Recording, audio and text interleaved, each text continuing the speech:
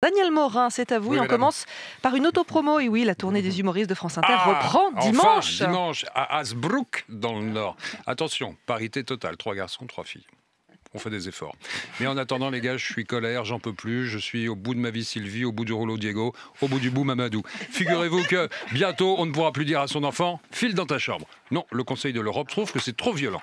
Regina Jens Dottir, la chef de la division des droits des enfants au Conseil de l'Europe, estime qu'il s'agit d'une violence éducative.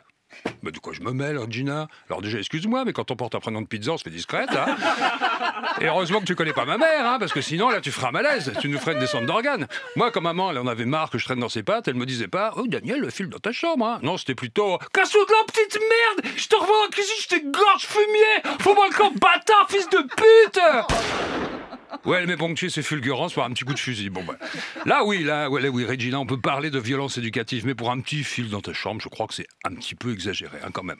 Bon, on va enchaîner avec une note un peu plus légère, une note gourmande. Je ne sais pas si vous savez, mais en ce moment, dans les cuisines du terroir, la pression monte. C'est la deuxième édition du championnat de France amateur de terrine de sanglier, organisé par ce magnifique magazine qu'est le Chasseur français.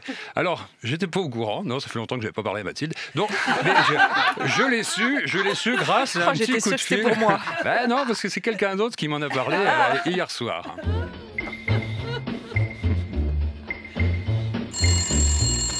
Allons, quel est l'abruti qui me dérange Euh, salut Nicolas, c'est Daniel Main. Je suis en pleine préparation pour le championnat de terrine de sanglier. J'ai pas de temps à perdre. Bon, bah, je vais te laisser, désolé. Ah, genre, tu es désolé de déranger. Tout le monde sait que tu t'en fous de déranger les gens. Tu penses qu'à ta gueule et à m'humilier chaque matin en m'imitant de façon ridicule. Ben, enfin, Nico. La ferme C'est hyper important pour moi, le championnat de terrine. Je suis un mec à terrine, moi. Quand j'étais tout petit, tous mes animaux de compagnie, ils ont tous fini en terrine. L'année dernière, j'ai même essayé de faire une terrine de Dominique Seux. C'est Léa qui l'a sorti du hachoir à la dernière minute. Oh, mais non, faut te détendre, Nico, ça va aller. Non Non, ça va pas aller Elle est foutue, cette terrine J'ai pas respecté les 12. Dans ma cuisine, c'est le bordel, il y a du sang partout.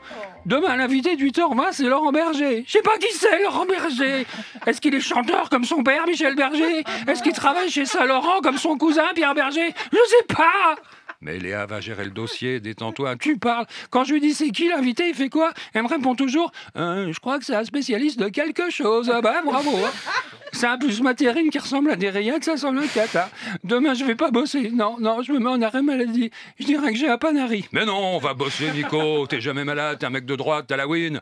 Pense à tes amis du MEDEF, mec.